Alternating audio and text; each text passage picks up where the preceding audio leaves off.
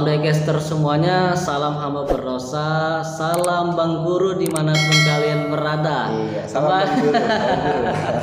Kembali lagi channel kita berdua Dan channel hamba berdosa pastinya John ya Jangan lupa untuk di subscribe, komen, like, and share Agar kita semakin semangat dalam membuat video-video terbaru dan terupdate lainnya John.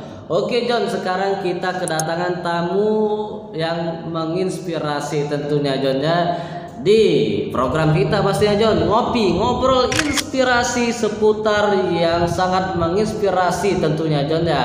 Langsung saja John. Ya Pak Jasa perkenalkan Pak Jasa mungkin ada teman-teman dan saudara kita yang belum kenal ini Jadi, haba Pak, halo. halo halo Ah, halo. ya ya Nama kita ya Bang Guru. Bang Guru itu Bang channelnya John Guru, ya, Bang Guru channel langsung ke channel. Bang ya. Guru channel ya ya Ya, perkenalkan kita Bang Jasa ya. ya Bang Jasa Saya adalah seorang guru dan Mhm. saya bangga menjadi guru. Ya. Saya suka menjadi guru dan Mhm. guru teacher my style. iya iya iya style. iya Jadi dan juga ternyata Mhm. kita semua itu adalah guru Mas Wadi. Iya ya, semuanya itu Kita, adalah kita guru, semua ya. adalah guru. Percaya nggak? Kita semua adalah guru. Saya percaya. Iya. Coba jelaskan ada yang mungkin ada yang enggak.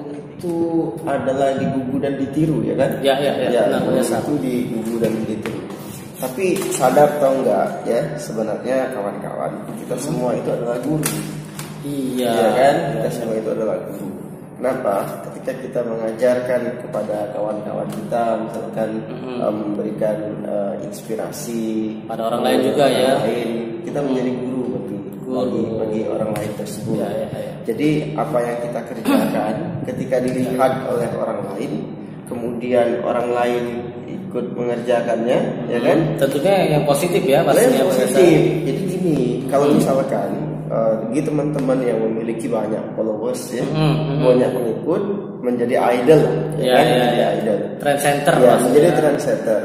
Sadar atau tidak, kalian saat itu menjadi guru bagi orang yang idolakan. Nah itu ya buat kalian yang banyak follower Iya. tentunya kasihlah pada follower kalian itu yang positif positif Yang baik-baik. yang baik-baik agar nanti bermanfaat buat orang lain juga Iya. John. Nah Pak Jasa kita kan sebagai guru ya untuk membagikan inspirasi pada para milenial tentunya dan sekarang ini anak-anak milenial kan di antara umur 18 hingga 25 lah ya. Iya. Apalagi kemarin habis kelulusan. Habis kelulusan. Pasti ada anak-anak yang bingung saya ini harus ke mana harus ke mana. Nah Oh, gitu. ditambah lagi mereka itu belum mempunyai skill. Skill. Nah itu coba Pak Jasa share kepada anak didik kita dan teman-teman kita yang di rumah sana skill apa yang harus kita persiapkan untuk menyemplung atau menyemplung ya apa sih? terjun terjun di masyarakat John maksudnya. Oh. Ayo langsung Pak Jasa. Iya. Jadi untuk kalian yang Ya. kemarin baru lulus SMA, Mhm. kemudian baru saya mau mencicipi asam garam kehidupan. Iya benar umur Jasa. kita berapa ya? Kalau saya 26 Pak Jasa. ya, saya 32. Masuk milenial lah ya. Ini milenial akhir, ini milenial penghujung. Tapi muka kita agak sama ya ya. Ini milenial penghujung. Oh, iya, iya, saya iya, 32 tahun. Mm. Saya 32 tahun dari tahun 2007 ya masih anak eh, muda saat Mm. itu sudah terjun bersama dengan anak-anak muda Mm. ya kan eh, aktivis di kepemudaan Ya. baik itu di kampus, di masyarakat dan lain-lain. Iya, iya, iya. Jadi sedikit banyak saya sudah banyak kenal dengan banyak orang Mhm. eh, memahami karakter-karakter orang Mhm. Apalagi dalam kondisi milenial sebenarnya kalian beruntung Kenapa itu Pak Jasa? beruntung Apa beruntung? Harus karena mereka apalagi anak milenial Indonesia Hmm. ya kan mereka memiliki warisan demografi Uh, ya kan itu ya. memiliki warisan demografi Eh, warisan eh, kawasan Hmm. kenapa Indonesia dalam termasuk wilayah yang aman, tidak Hmm. seperti daerah Timur Tengah, daerah Hmm. konflik dan sebagainya. Iya, iya, iya, Ya kan? Kemudian sumber daya alam yang melimpah. Hmm. Selain sumber daya alam yang melimpah, Indonesia Hmm. juga eh, memiliki tatanan toleransi yang cukup baik. Wah, itu ya. Artinya masih ada eh, saling menghargai, Hmm. toleransi dan lain-lain. Itu yang jadi poin yang penting bagi anak muda. saat ini. Hmm. Nah, jadi lantas mau ngapain aja? Ya, Ya kan? apa yang harus dilakukan milenial sekarang? Iya. Jadi informasi yang sudah ada, ini punya handphone, handphone Android. Handphone, ya saya punya biasa. Nggak merek ya kan? Enggak usah mikir merek. Sponsor nanti. Jualan, ini Iya, iya. jasa BL. Ah, iya. Dikit ya. Ya, perlu kalian ketahui juga ya, Pak Jasa ini merupakan seorang yang multi skill John. Nah, seorang aktivis, seorang guru dan seorang pedagang juga John. Nah, buat Iya, Nanti kalian jual dagangan semuanya. Ini buat jual, ini sponsor semua John. Semua. Ya buat kalian ya eh, jangan lupa untuk eh, mengikuti keseruan kita ya. Pokoknya apa yang kita share pada kalian itu pasti sangat menginspirasi. Dan judulnya ini juga ngopi John, ngobrol inspirasi dan pastinya tentu eh, semuanya pasti hal-hal yang po- positif, ya Pak Positif, Jasa ya. Nah itu Pak Jasa, yang anak-anak milenial ini di zaman sekarang ini mereka harus bisa apa di zaman milenial ini. Nah buat kalian tolong disimak ini. Ya, jadi yang pertama eh, kita memiliki eh, informasi dunia. Ya. Informasi itu penting ya. Hmm. Kita memiliki informasi, kita punya handphone Android, Mhm, pakai data dan sebagainya. mhm. Jadi satu hal yang penting ya kan, Ya, semua informasi ya, semua informasi itu silahkan kalian serap. Ya, Baik serap positif ya. maupun negatif diserap. Nah, tapi filternya itu satu. Filternya Mas satu, apa iya, itu Pak Jasa? Itu adalah ilmu agama. Itu penting. Ilmu agama itu Ya merupakan kan? filter John. Mau jadi apa kita ketika Hmm. kita tidak memiliki ilmu agama, ya kan? Kita mau jadi ateis, ya kan? Iya, iya, benar-benar. Ya kan? Hmm, Nah, nah. jadi karena kita eh, makhluk bertuhan, ya kan? Filter utamanya itu adalah ilmu agama. Ya. Karena di sana kita tahu mana yang baik, mana yang buruk, Hmm. mana yang punya kita, mana yang bukan punya kita.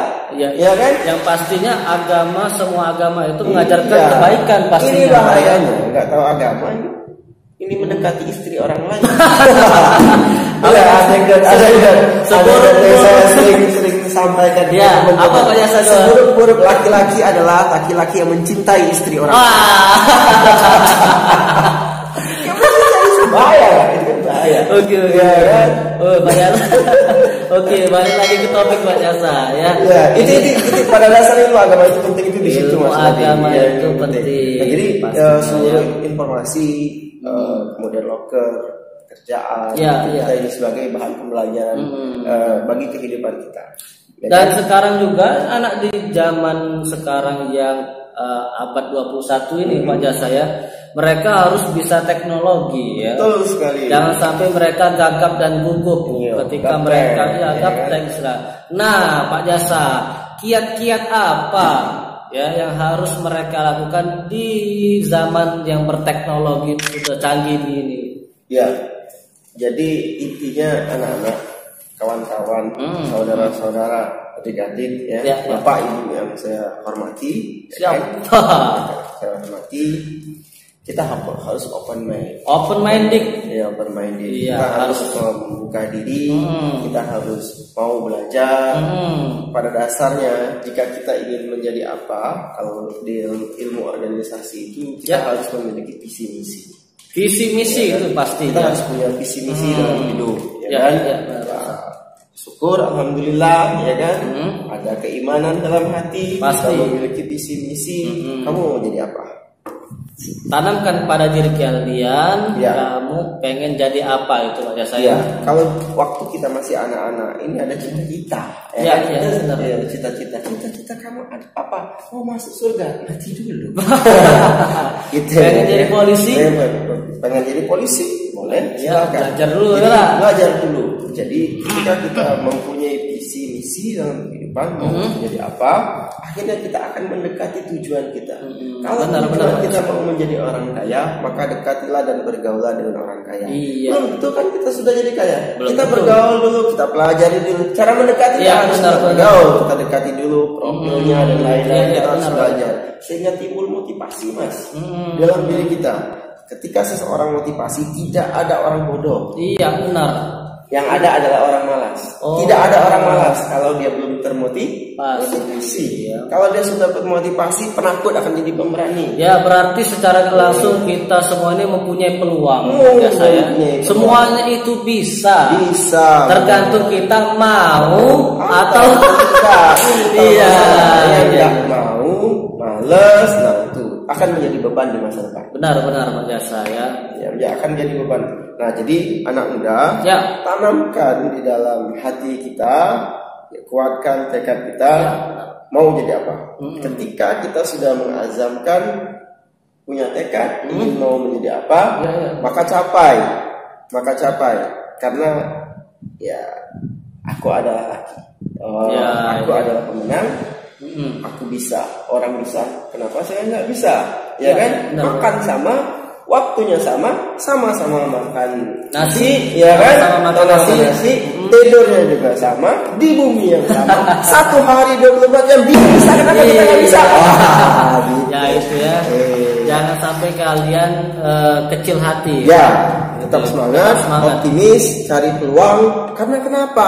Kok aku nggak jadi-jadi? Belum. Belum. Belum, ya kan? Usaha dulu. Usaha dulu, karena usaha tidak akan mengkhianati hasil. Benar, benar ya itu, kan? Ya, benar. Mungkin hari ini ada yang masih jadi siswa, Ya. jadi mahasiswa, masih lontang-lantung, Iya, tapi iya, dalam iya. hati dan tekadnya membara, aku akan menjadi orang yang berhasil di kemudian hari. Hmm, benar, jadi seluruh usaha-usaha positif dilakukan.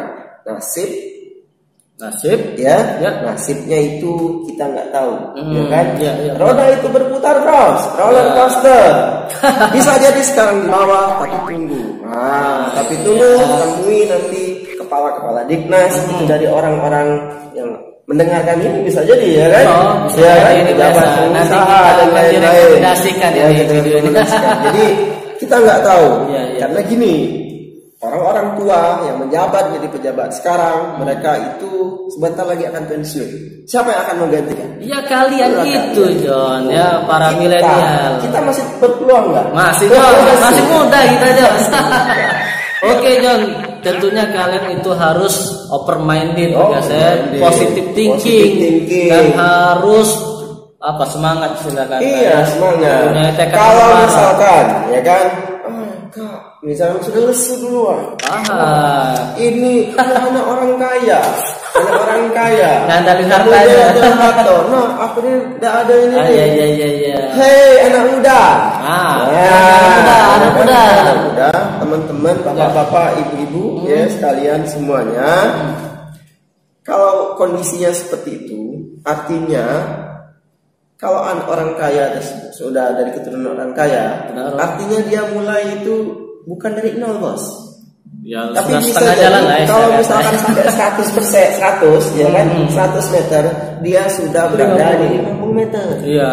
Tapi kalau yang belum ini, Jo, Ya, bos, ya, kan? Belum. Belum ini, artinya bisa dia mulai dari nol, tapi jangan minus. Minus tidur, tidur. Nah, jangan minus. Artinya dia mulai dari 10, dari 5. Iya, iya, iya, iya. Supaya dia sampai ke 50 sampai 100 kamu kebun.